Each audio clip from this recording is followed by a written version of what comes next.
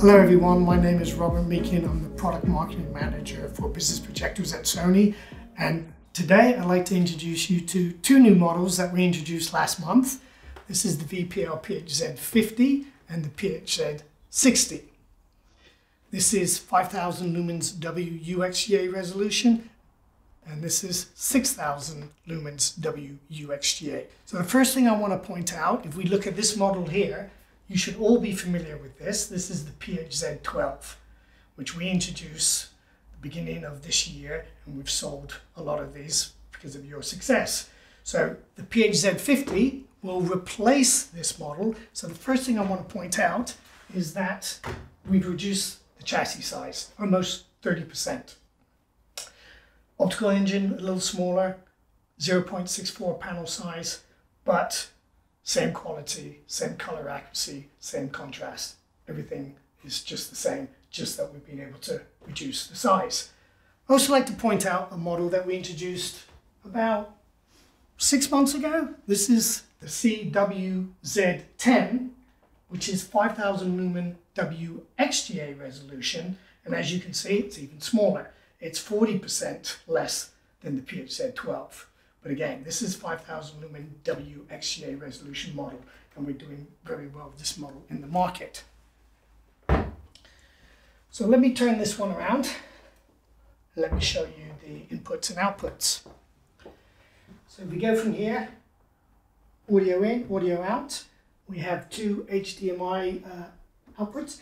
We have R, uh, RGB and uh, video composite, and we have two USB ports. One is for service related issues, so firmware updates and everything, very easy to update the projector. The other one uh, provides power, 5 watt power, and that is so you can use any mirroring device, USB mirroring device, uh, and then plug into the HDMI. So that's a new feature within the PHZ50 and 60. And then we have two RJ45, one for control and one for HDBaseT, which is good feature, and then RS-232 control. So all the panel uh, inputs and outputs that you expect from this type of product in the market. The other thing I want to point out, and this was uh, a lot of your feedback, is that the PHZ12 had only a throw ratio of 1.28 to 1.88. So the, the throw ratio wasn't as large as we were hoping. But with the pitch PHZ50 and the 60, we can now go to 1.23 to 1.97. So we've increased the throw ratio. This was one of the things that a lot of you said about the PHZ12. So we've, we've, we've enhanced that feature. If I look at the CWZ10, it's worth noticing that the throw ratio on this is 1.29 to 2.07. So a very good throw ratio, a little, little in the uh, push backwards, but equally a very good throw ratio on the 5000 WXGA model. Another feature, and you should be familiar with this, is uh, intelligent setting. So if you remember, uh, we introduced intelligent setting with the FHZ70 and the FHZ75 uh, a couple of years ago.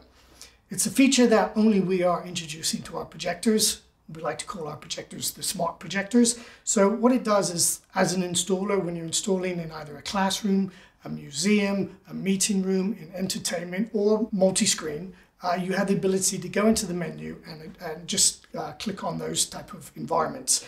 Uh, the technology in the projector will automatically adjust the laser diodes, the panel, and the firmware to optimize the, the color reproduction for that environment. So within classroom, it would be much higher brightness, quality of the um, color reproduction slips a little bit. But then if you then look at museum, then you know that the color accuracy is perfect. They bring the brightness down, so so forth. So the intelligent within the projectors are automatically done. These two models have intelligent setting version 2. So it does all of that and also now monitors the usage of the projector. So if this is installed in a classroom or a meeting room, after so many hours, it will look into the firmware, and see how many hours it's been used, and adjust the laser diodes accordingly. So used in normal conditions in that environment, classroom or meeting room, we can predict or we believe that this projector will last up to seven years without uh, reduction of brightness within the market. So that's a game changer with intelligent setting version 2. We're confident that this will last up to seven years. And this is, again, this is a feature that only Sony is uh, putting into their projectors. Another feature that we've introduced, uh, and first time in the PHZ 15 to 60, is a thing called Bright View.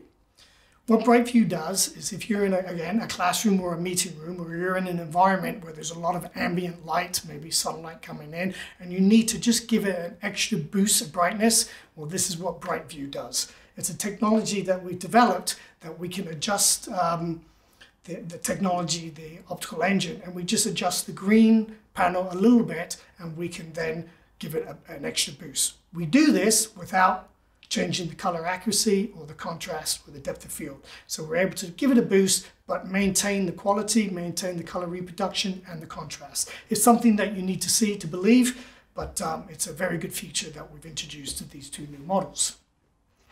So the last thing I want to point out, and I think you guys may already know this, but I think it's worth pointing out, is that these three models here, the 60, the 50, and the CWZ10, within the laser projector market, um, according to PMA, uh, this is probably the largest market out there. In FY21, they are predicting over 40,000 units to be sold within this category. So we are talking WXGA 5000 lumen and 5000, 6000 lumens WUXGA. So with Sony, you have that step up strategy or step down strategy. So when you're talking to your customers in university, classrooms, or meeting rooms in corporate, and they have still lamp projectors, and trust me, there's plenty out there still. This would be the very good, competitively priced option for a lamp. That will be WXGA 5000 lumens. If they need better resolution, then you step up to the same brightness, but with WUXGA. And if that's not good enough and they need WXGA but brighter, you step up to the 6000 lumen. So that is the strategy uh, with these three products, and this is why we introduced these three um, now. And as I said, it's over 40,000 units are predicted um, to be sold in the market. So thank you very much um, for listening. I hope that you have a chance to see this product. I hope you have a chance to get one of the demos soon. I would personally like to be there in person, but unfortunately I can't. But um, uh, thank you very much. If you have any questions, please contact me or contact your account, uh, Sony account sales manager. So thank you very much.